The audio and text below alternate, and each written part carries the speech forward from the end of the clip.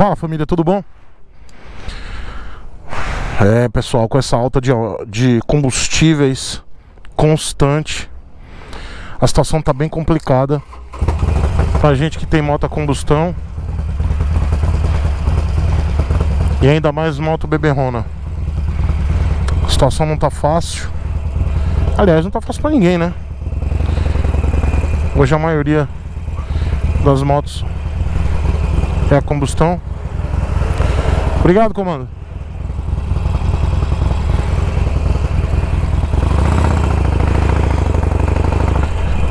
E eu confesso a vocês que eu tenho pensado muito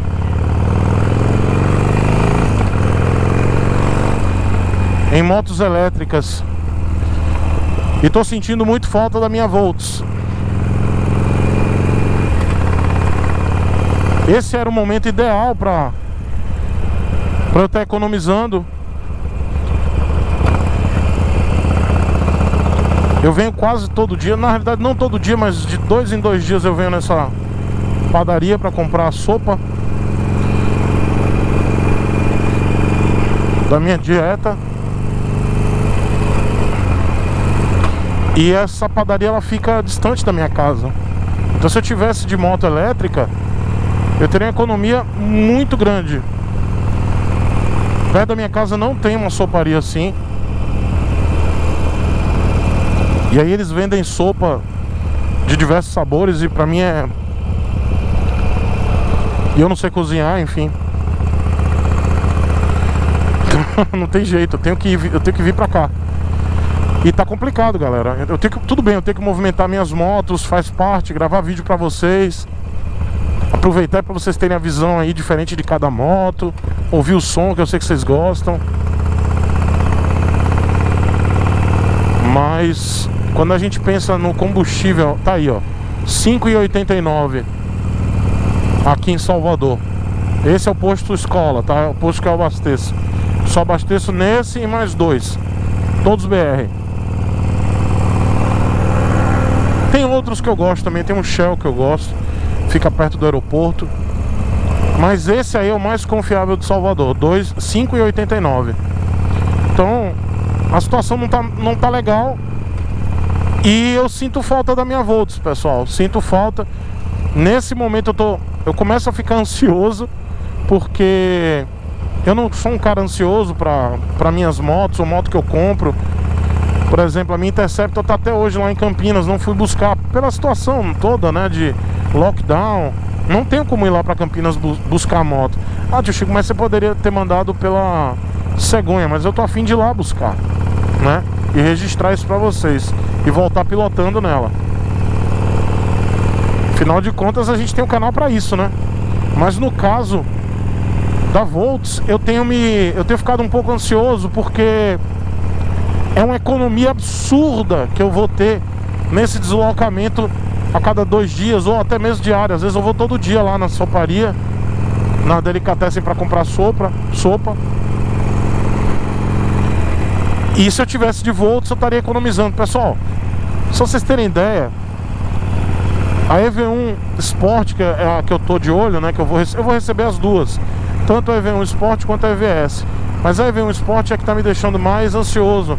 Porque eu adoro o modelo, né? Scooter da Volts, aquele modelo que é igual da EV1 2019. Só que ela agora tá com mais torque, tá mais potente. Tem 180 km de autonomia, a que eu vou receber com duas baterias. Então assim, é um troço incrível. Não faz feio aqui nessa via expressa ela vai rodar junto com os carros e eu vou ter um gasto aí de 2 a 5 centavos o quilômetro. Entre 2 e 5 centavos o quilômetro. Então é muita economia, pessoal. Muita economia no mês. Claro que eu posso usar a Chiquinha, a Psyduck, a mala acabada, mas aí seria um outro foco, entendeu? Economizaria. Galera, tá muito caro o combustível, tá muito caro mesmo. Então com a Volts eu faria exatamente esses trajetos para poder pegar. E aí que vem a grande sacada de uma moto elétrica hoje. A Volts com essas novas motos que aumentaram, que estão com autonomia muito maior, ela, ela agora está proporcionando um range muito maior para você rodar na cidade, com mais torque, mais velocidade, diferente da 2019. Da EV1 2019, que você tinha limitação de 60 km por hora. Agora com a EV1 Sport você tem 75 km. Só que o Rafael Cantarelli botou 80. Sobe ladeira muito tranquilo. Então a situação agora muda. Quando a gente colocava muitos condicionais, ah, mas é uma moto para você ir ali na padaria, ou é para ir na academia, ou para ir na faculdade somente. Não, galera, é uma moto para você rodar na cidade. Claro que todo veículo elétrico hoje você tem que ter um planejamento. Não adianta você sair sem planejar. Você tem que saber para onde você vai, qual o percurso, porque tudo isso conta. Isso qualquer veículo elétrico, até carro elétrico, do mais caro que você comprar. É isso. Enquanto a gente não tiver uma infraestrutura legal para poder atender os veículos elétricos, a gente tem que se planejar legal. Mas com gasolina a 6, 7 reais e você fazendo trajetos para poder ou ir para o estudo, ou ir para comprar alguma coisa, fazer supermercado, ou até mesmo resolver coisas de negócios, atender, atender clientes. Eu não estou falando trabalhar com entrega, tá? Dá para fazer? Dá, mas aí é uma outra estratégia. Mas você fazendo essas coisas do dia a dia, do cotidiano, com uma moto elétrica da Volts, galera, hoje para mim é, é uma situação que eu tô sentindo necessidade. Porque eu só tenho motos, a minha moto mais econômica é a Malacabada. Ela realmente é econômica, ela faz aí numa tocada suave, 30 km por litro na cidade, sem engarrafamento. Com engarrafamento eu faço 28, 29. Essa aqui eu faço 20, 19, 20. É muita diferença, né?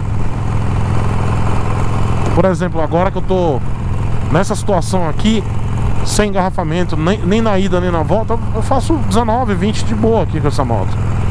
Nessa tocada aqui. Tranquilo. Mas com a EV1 Sport era entre 2 e 5 centavos o quilômetro. é muita economia. Eu devo estar recebendo a minha unidade em abril, se tudo der certo. Vocês vão acompanhar, inclusive em abril. A gente ainda vai estar nessa situação aí de lockdown, não duvido, ou pelo menos retomando aí as atividades. Eu espero que a minha chegue em abril, final, até o final de abril, para eu poder aproveitar e, e economizar.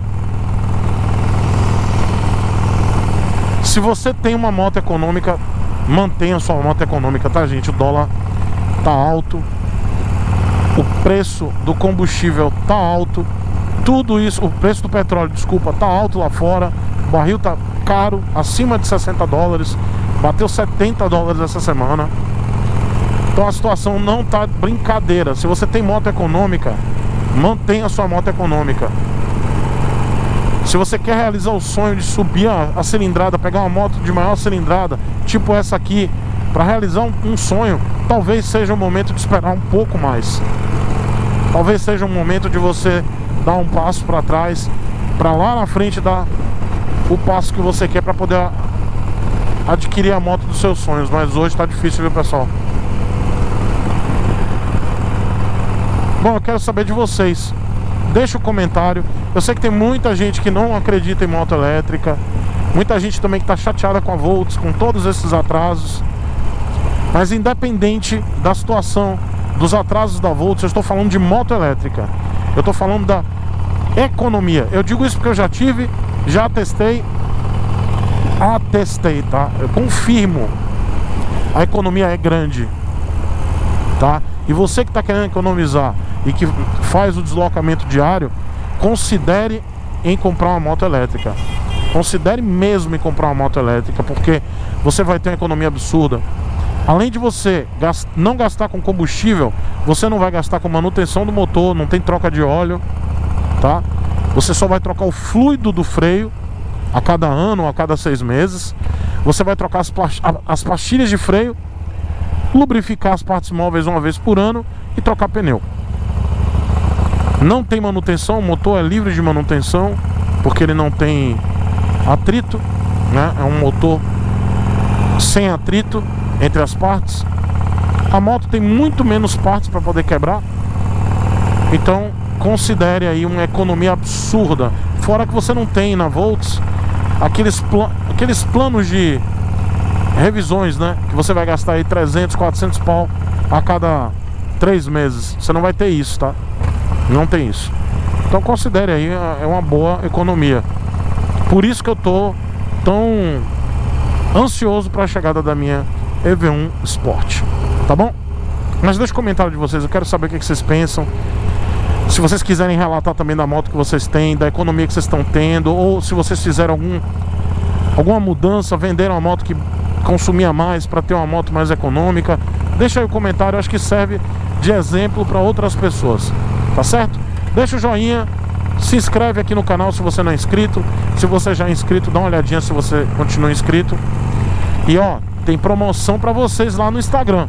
Arroba Chico Sepúlveda, vai lá. Me segue lá. Todo dia tem promoção. Dos patrocinadores aqui. Beijo.